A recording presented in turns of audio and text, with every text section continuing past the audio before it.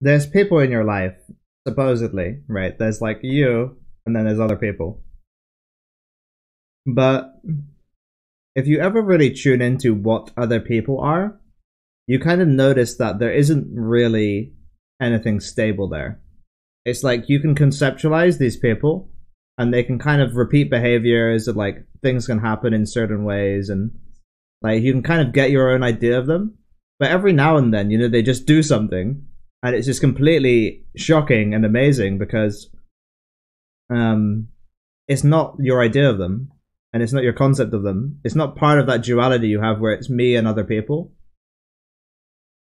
And sure, you can tune out those moments, and tuning out those moments is part, large part of what duality is. It's large part of what perceiving things in terms of beings, in terms of self and other is.